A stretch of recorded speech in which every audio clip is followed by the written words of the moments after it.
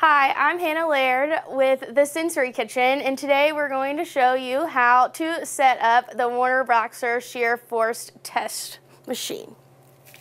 So first you're going to take the blade holder and the pin and attach it to the machine holder and insert it into this holder by putting the pin inside to adhere it to the machine. Sticking the pin into the machine, it'll hold the blade holder. And next, we're going to attach the actual Warner Bratzler shear blade. But to do this, we need to make sure that it goes inside this groove that's right there. And so we're going to need to move the machine down so we can attach the blade while it's fitting in the groove to avoid damage to the blade. So we're going to take these screws and screw them in to the blade and the blade holder to adhere the blade to the machine.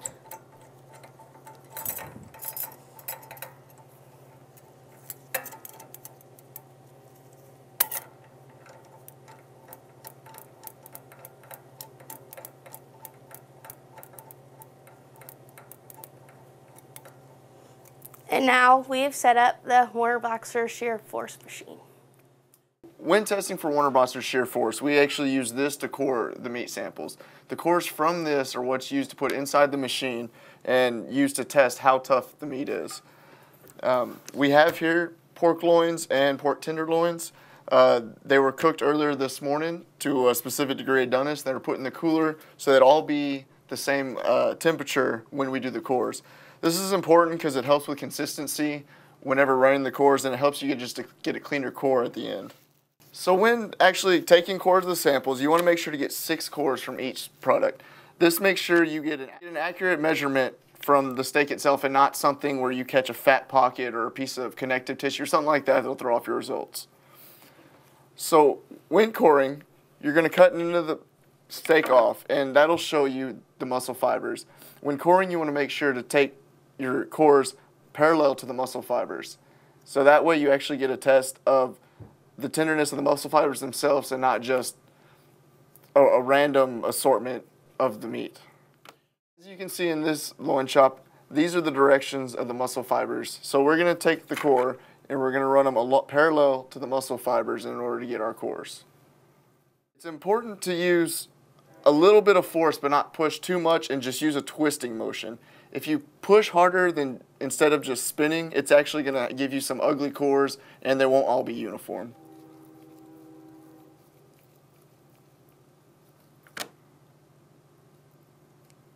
And there's our first core. As you can see, it's a, it's a decent core, and you can see along the sides that we did in fact get all the uh, muscle fibers. And whenever you run it in the machine, the blade will actually cut through the middle of the core. And as I said earlier, you want to try to get six cores from each steak.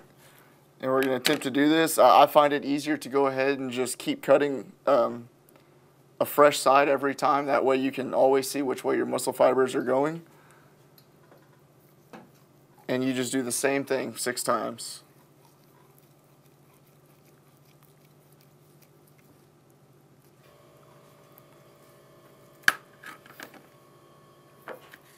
I start in the middle just to get to make sure I get the whole meat and I don't start on the side where there's fat or connective tissue or if I start too far on the other side, I'm not going to get a long enough core. So sometimes whenever the meat core gets stuck, we use the end of a pencil eraser just to push it through. And it doesn't mess up the core or anything.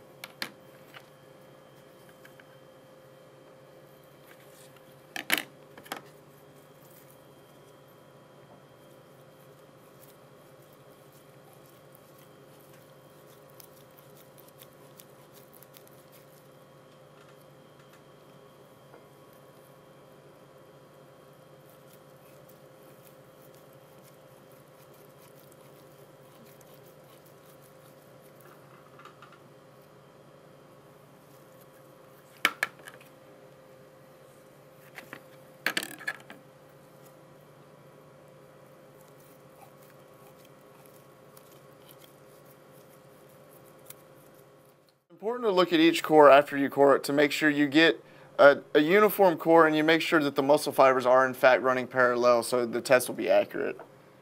Here we have our full six cores. Um, it was cutting it close, but we made it. If you do find something, a product that's too small, like our pork tenderloin we will have in a minute, uh, you can run this test accurately with four, but you prefer six. When coring a smaller product like a pork tenderloin, uh, you still have to cut the edge to make sure, to see which way the muscle fibers are running, but you want to get as close as you can to the edge so you're not wasting any product. Um, we can see just by cutting that up, its tenderloins are running straight up and down, and so that's how we're going to core them. Tenderloins are sometimes difficult to core because of how tender they are. If you use too much force or if they're cooked to a lower degree of doneness, they have a tendency to just fall apart in your hand. So that's why, for, especially for tenderloins, it's extra important to be sure to let them sit and rest after cooking and come down to room temperature or even leave them in the cooler like we did. Um, here's our first core. Uh, it turned out pretty good. We got all the muscle fibers and we actually held it together.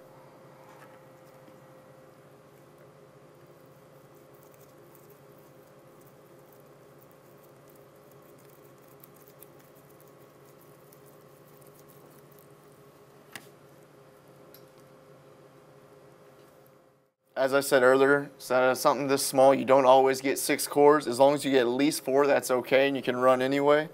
Um, trying to get this together isn't going to do you any good because it's not going to give you a uniform core. So out of a pork loin, we had six, and we got five out of our tenderloin, which will be perfectly fine for our testing. In industry, they talk about an hourglass shaped core. That's something you don't want to do because it's thinner in the middle and it's not uniform and won't give you a accurate description of a core that is perfectly uniform. This tends to happen on something like tenderloins. If they're cooked to a lower degree in the doneness, um, you can force too hard and it'll actually just twist and twist and you'll get almost a, a hourglass shaped form to where in the middle it's thinner and the outer it widens out. Try to see if I can get an hourglass shaped form for y'all. Um, these pork loins were cooked to a little bit higher degree of doneness so it may not be as easy uh, but we're gonna try. This one isn't quite hourglass, but it is kind of corkscrew looking. It's not real uniform in shape as some of these others, and you can see how it's misshapen. It, it just doesn't, it doesn't give you quite as good results as a uh, more uniform core. This is at least a good description of one that is not uniform and one that I probably would not keep and I would try to get another one. United Testing System, this is the system we use uh, here at Texas A&M. Um, this is how we start off every time we test, uh, check for tenderness. First off, you go to specimen uh, preparation. You check which test you want, whether it's slice shear or Warner Bratzler shear force. So we're going to double click on Warner Bratzler. Once you get this screen, you're going to go ahead and put in a name. Put in my name just for to have a name in there and then you're going to go ahead and create a batch. Creating a batch, you can only do so many at a time, but it depends on how many samples you're running. And in the batch, the number counts not how many samples you're testing, but how many actual cores you have.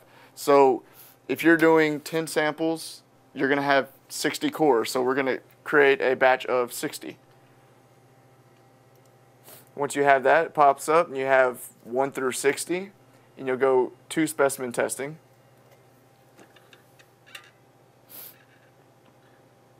And this brings us to our actual testing page. Whenever we're testing, we're looking at the Y max. The Y max shows you how many kilograms of force it takes to, uh, to cut through the muscle fibers. So whenever you start, it's important to make sure to zero out the machine. When, when you zero out the machine, you want to get it ready for um, as you would actually test the core. So we're going to go ahead and jog it down.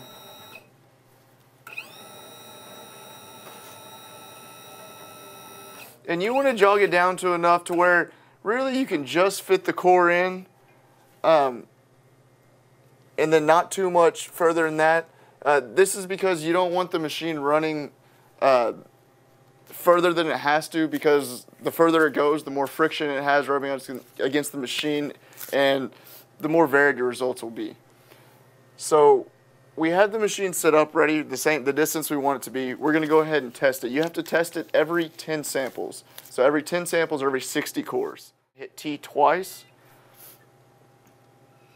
And the machine's going to go ahead and start coming down as if there was a sample there to cut through.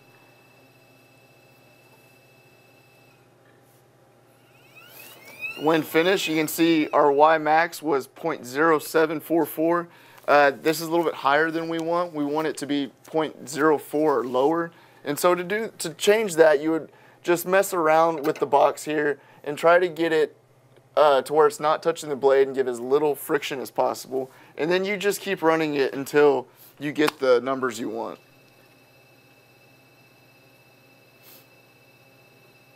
This is what we're looking at to determine how much force it takes to push through uh, the muscle fibers. So you want this number right here to be 0.04 or lower. We're going to keep working this until we get the right number. Um, it's important to take into account the testing uh, to zero out your scale whenever you create your batch because every time we run this zeroing, it counts as one of the samples they're testing. Um, we got this one at 0.0308, which is good. It's below our 0.04 number. We'd go ahead and write that down as our uh, YMAX zero number, and we would go ahead and start testing.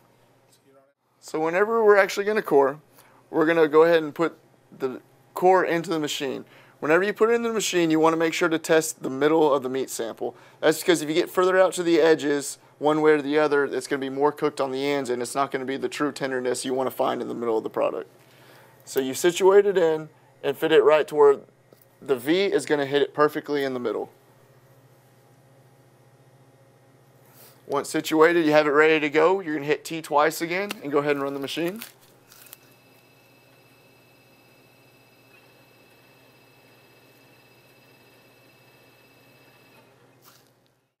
Here's our tenderness value. It's uh, 1.2901. That is how many kilograms it takes to push through the muscle fiber and actually break through them. This is the number you write down every time whenever you're recording your results. You're to keep doing this for every sample you have, all six cores.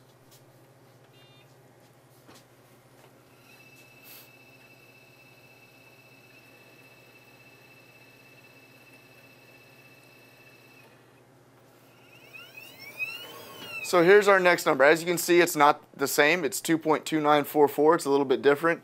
This is kind of why we take six cores. Uh, it, you can average them out at the end, and that'll be your actual tenderness value. Because as you core through a product, you hit fat pockets, you hit uh, areas of connective tissue, all that differ in the tenderness of the meat.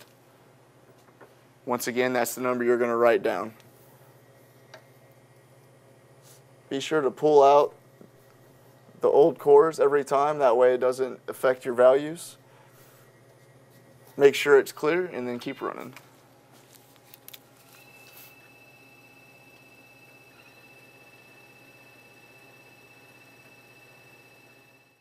1.9749. That's closer to the first one. But again, this is all going to be averaged out in the end.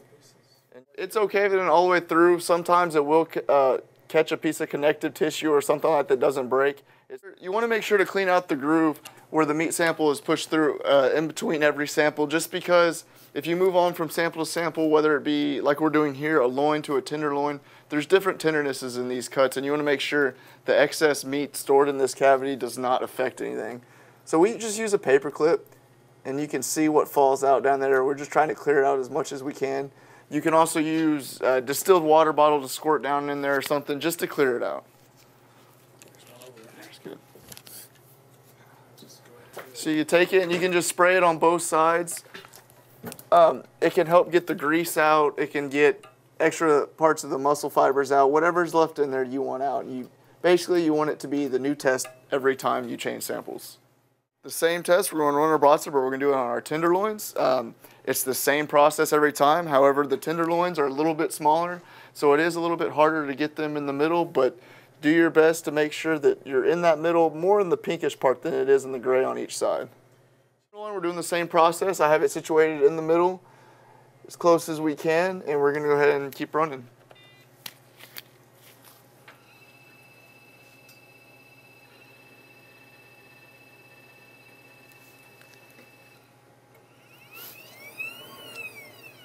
And as we did for the loin, uh, we're going to write down our Y max. Our Y max for this one was 1.7674.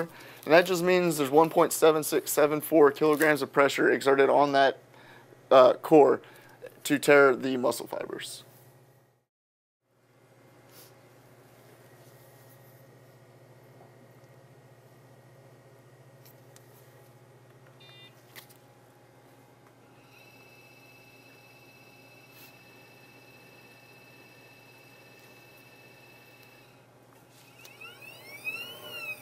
So again, this time we had 2.0324 for our YMAX. We're going to go ahead and record that. Some of these uh, cores are not always perfectly flat, so sometimes you have to twist them and turn them. You just want to make sure that they fit perfectly in the middle. Make sure to clear out the groove and uh, under the blade. We're going to fit it in and hit T twice.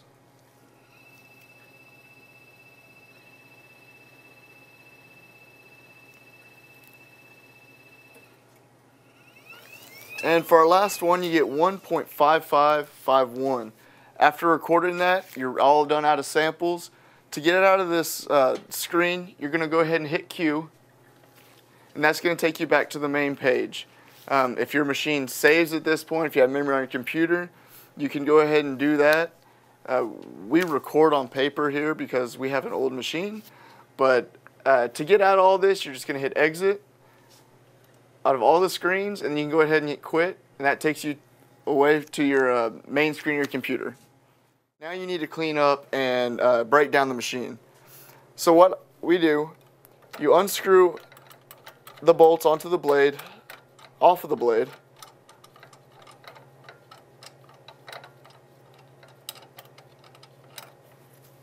to take off the blade from the holder. Uh, this is really just the exact opposite of what you did to set up. Um, I like to take the blade off while it's in the groove. That way you can minimize as much chance or as many chances of messing up the machine, uh, breaking the blade, breaking on the little holder or anything like that. But once the blade's off, you can go ahead and fast jog it up. And you want to get it high enough to where you can pull the blade out without bumping into it, out bumping into the bottom of the holder. So that's high enough. We're going to pull it out. To clean it, we just use distilled water, spray it real good on each side. And then we take a napkin and wipe it off and try to get all the residue off that we can. Once that's accomplished, you can put the blade back where y'all keep it. You can pull the pin out and remove the blade holder.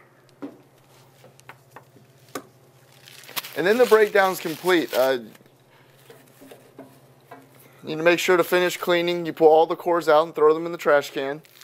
Again, use a paper clip and distilled water to get all the extra meat out that was has been left over or that may be left behind and give it a good spray with your distilled water bottle.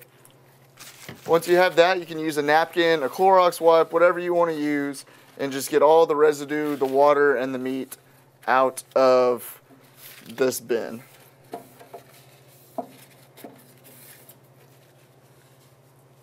And once you're done with that, that's all that's left. Uh, that's the setup and uh, running and takedown of the Warner Bratzler machine.